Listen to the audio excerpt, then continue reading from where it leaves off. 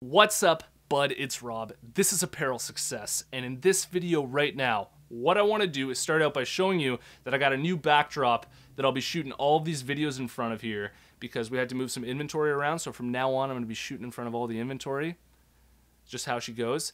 And in this video, what I want to talk to you about is the four most common mistakes that I see clothing brand owners making on a daily basis, all right?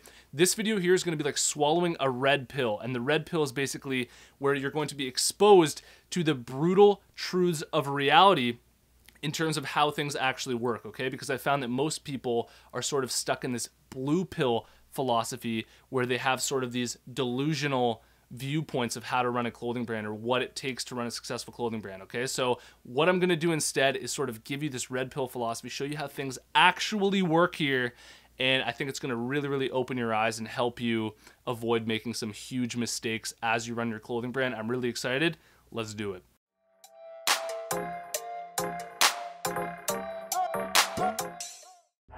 Hey, if you couldn't have guessed it, this video here is sponsored by my buds over at Design Crowd. And if you need designs made for your clothing brand, I highly recommend you check out Design Crowd. Design Crowd's a website that helps entrepreneurs crowdsource amazing designs from designers all around the world. For a special $100 VIP offer for apparel success viewers only, head over to www.designcrowd.com forward slash apparel to learn more, or simply use the discount code apparel when you post a project on Design Crowd.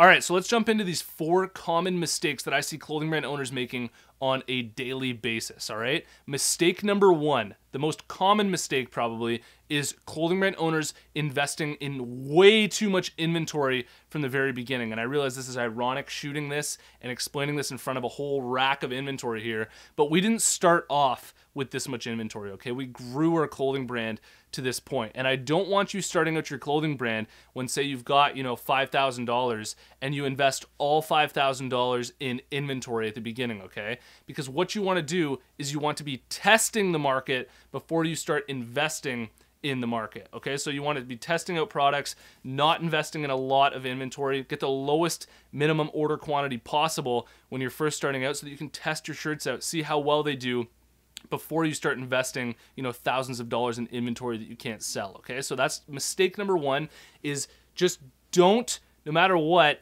invest in way too much inventory off the bat until you know that that item that you're investing in will actually sell with your market. All right, the second biggest mistake that I see clothing brand owners making on a daily basis is that their clothing brand concept is too general and it's not unique enough, okay? On a daily basis, I see clothing brand owners that are just doing things that have been done before, and the worst part about this is that they have no idea, okay? They're sort of in this delusion, this blue pill thinking that their clothing brand is super special and that there's something unique about it, okay? I want you to really look yourself in the mirror here, and that's the whole you know, that's probably the biggest aspect of running a successful business is being honest with yourself, okay? Because the market doesn't lie. The market is a very, very harsh reality, okay? If it doesn't sell, it's for real reasons, okay? And there's no delusion that you want to be you know, approaching the market with. You want to have a very, very real perspective towards it. Now, the third most common mistake that I see clothing brand owners making on a daily basis is they don't have an overall game plan for how they're actually going to go about growing their business, okay? Generally, most clothing brand owners think that they're going to grow sporadically in big bursts at a time and most clothing brand owners just simply aren't patient enough okay so you need a game plan you need an actual you know strategy for how you're going to grow over time even if it's slowly over time as long as you're growing like this that's all that matters right? Whereas most clothing brand owners are just sort of throwing darts and their clothing brand just stays like this. Whereas if you have something in place that allows you to grow slowly over time you're on the right track and you're doing something right okay? So have a game plan. Think about how you're actually going to grow steadily over time rather than just sort of you know getting lucky every once in a while and for the most part just standing still and not growing the last most common mistake that I see clothing brand owners making is that they're just outsourcing way too much and they don't have enough resourcefulness. Okay, I get people reaching out to me all the time asking, Rob, how do I create a website for my clothing brand?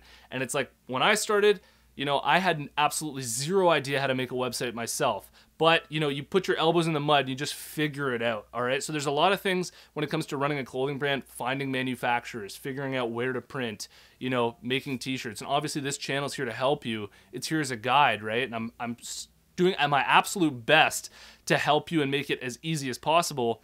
But there are certain things that you just need to dig in okay? And you just need to figure it out and work your way through. So you know, I don't want to see you, you know, outsourcing every little detail of your clothing brand and thinking that, well, you're not good at this, so I'm going to hire somebody to do it, or I'm not good at this, so I'm going to hire somebody to do it. From the very beginning, real entrepreneurial skills, you need to actually, you know, be willing to learn something new and grind it out from the very beginning. I hope you liked this video here and I hope it gave you more insight into how to run a successful clothing brand. And if you haven't already, check out my free clothing brand marketing masterclass video, okay? It's 100% free to watch. All you have to do to get access is go to www.apparelsuccess.com slash masterclass. You can watch the entire thing for free. And if you've made it to this point in the video, I want to let you know about the closed Facebook group that we have going on for Apparel Success. There's a link in the description below. Follow that link. Join us in the Facebook group. We're a bunch of clothing brand owners all in there to support each other and answer each other's questions. Thanks for watching this video. See you in the next one.